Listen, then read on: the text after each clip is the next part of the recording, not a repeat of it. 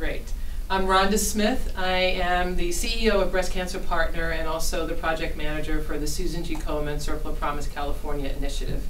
I work with uh, community organizers and organizations like Komen to help educate the community about the importance of breast health and being proactive about that, addressing breast cancer disparities and other health disparities issue that exists within um, mul the multicultural communities, and help to enhance the survivorship of women who are diagnosed with breast cancer. You can reach me um, on my social media channels at breastcancerpartner.com website, um, on Facebook, on Twitter, and uh, follow us for the Circle of Promise California on Facebook and Twitter also. And for the race, if you want more specific information about the upcoming race, where we will have a Circle of Promise booth, go to LA County, KomenLACounty.org.